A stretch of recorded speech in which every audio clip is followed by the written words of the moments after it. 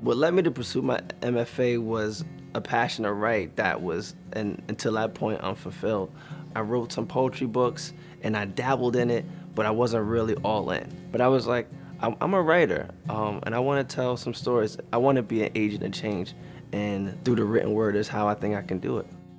I decided on Stony Brook essentially by doing research.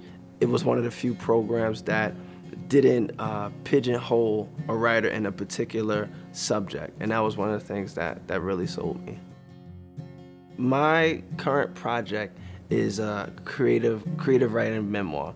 To give some background, my great-grandmother, she came from Barbados to, to Brooklyn, you know, to have a life. Um, then she had a handful of children, one being my grandmother, and my grandmother had about five kids, and my mom being the last one. What happened was, um, my my grandmother passed away two weeks after my mom was born. So my mom never got to know her mother, and essentially we never got to know uh, much about our Caribbean um, ancestry.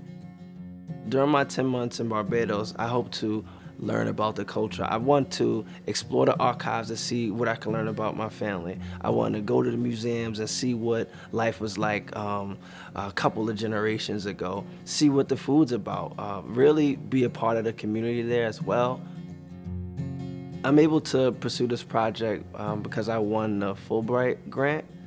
The Fulbright is a government award that's uh, issued for uh, scholars one, you can go uh, abroad to teach English. Another, you can go abroad and uh, do research. And the third is being a, a cultural ambassador.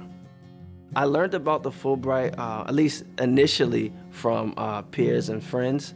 And then I went to the IREP office where I really got um, really involved to understand what potential it had to affect me in my career. My hope for what comes after the Fulbright is really to have um, this experience propel my writing career. Um, I went from one hand uh, not having this opportunity to now um, have an opportunity that few people get.